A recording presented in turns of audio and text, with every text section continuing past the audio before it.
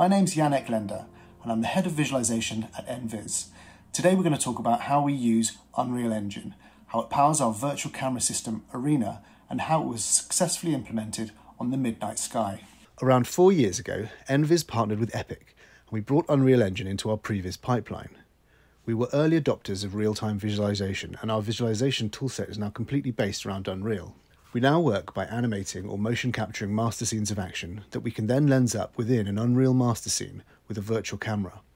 So not only can the DOP, director, or VFX or previs supervisor create the shots themselves, they can cut them together live and very quickly produce a pre-visualized cut of the film.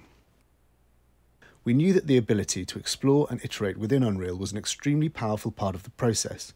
We could only imagine how powerful it would be when actually in the hands of the filmmakers themselves and we were determined to make that possible by presenting Unreal Engine via accessible and familiar tools.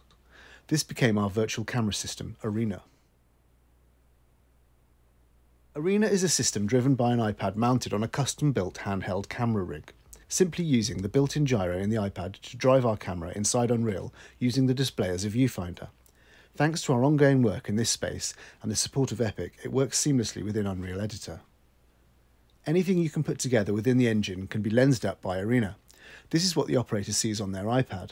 The operator can drive focus and exposure just as on a real physical camera, and the DOP can install their preferred lens list and choice of camera body, all accurately represented in Unreal Engine by Arena to exactly match their real world counterparts. And this is where things go further than the traditional way of working.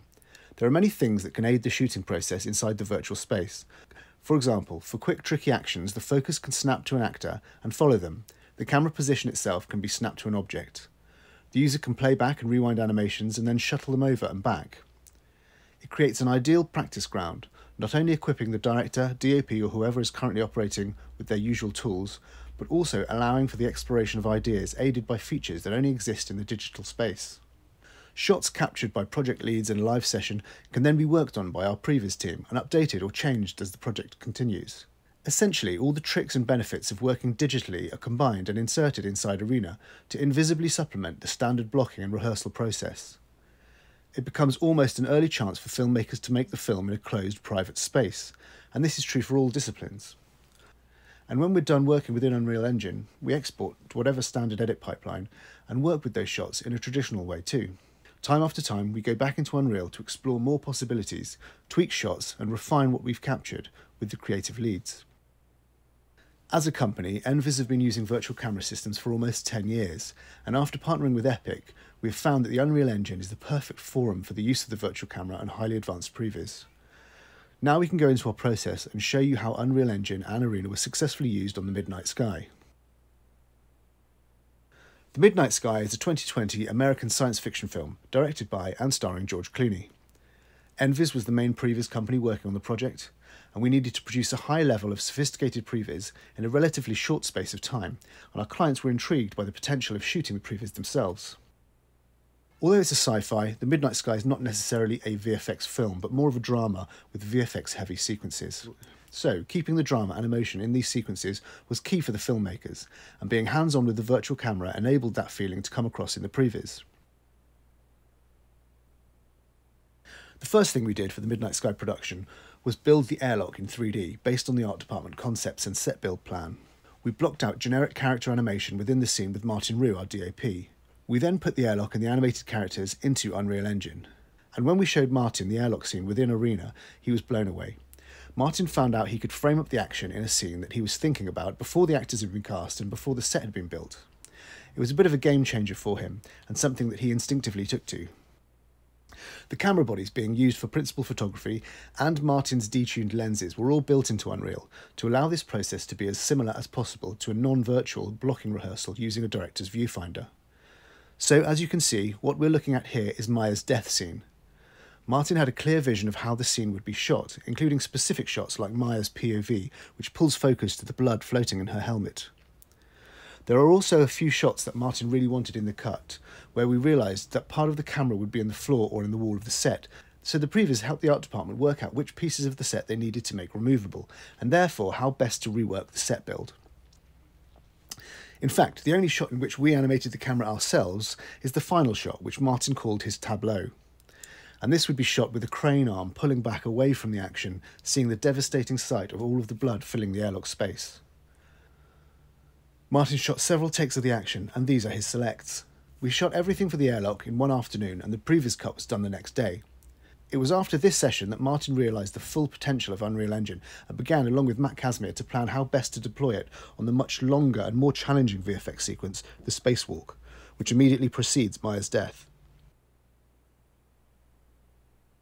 The opening shot of the spacewalk sequence, the shot of the astronauts leaving the airlock, was based on the very first version that was created within Unreal by our director.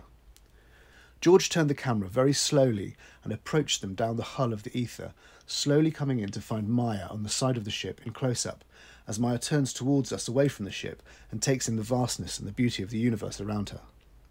So, this was a shot that George designed himself with Arena and can be seen in the final version of the film. Our DOP Martin wanted to use the system to walk the entire distance of their journey with them, all the way from the airlock to the comms dish in the Aether's nose, so he could work out how best to shoot it. Once we had set up on the W stage at Shepperton Studios and lined up with the taped out airlock, we invited Martin down to take a look.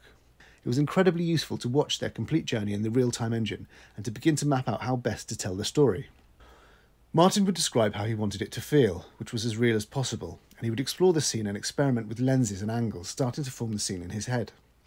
We had an early version of the debris hit to view during the live sessions on W Stage, and it was incredibly useful to show these moments to Martin and all of the other creatives who came to take a look, such as James Bissell, Matt Kasmir, and the art directors and stunt teams.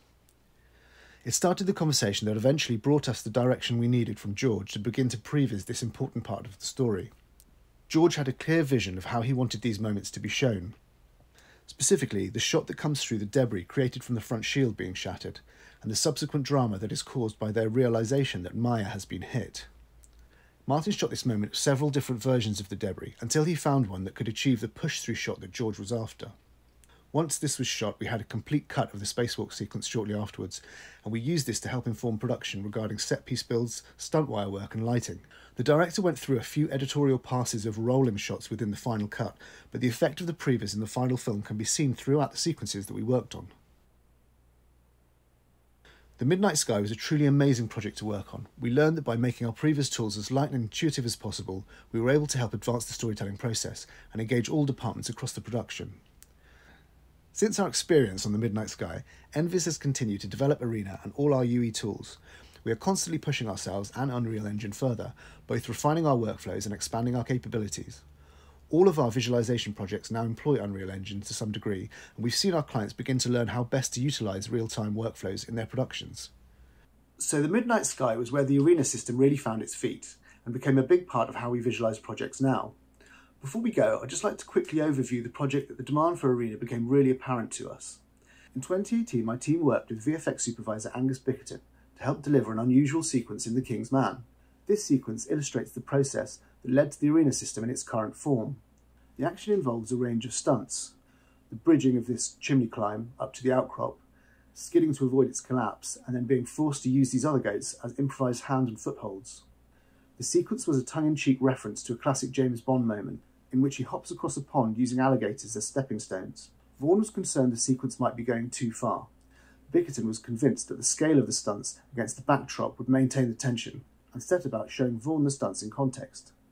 The stunt team iterated on their work, but now with us motion capturing sessions, we were tasked to then recreate these takes inside Unreal Engine and stitch them together in situ against a photo scanned backdrop. The stunts editorial team then had the chance to use Arena to shoot the action, creating the cameras for the scene using a prototype of the virtual camera we use today. Vaughn then provided notes, steering the previs towards what he was looking for, and eventually committed to the scene almost shot for shot.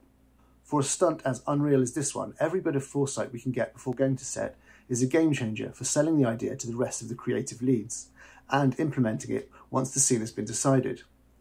And as the often separate parts are all in one accurate virtual space, the work helps give context to other parts of the film, as it expands to incorporate more of the world and setting.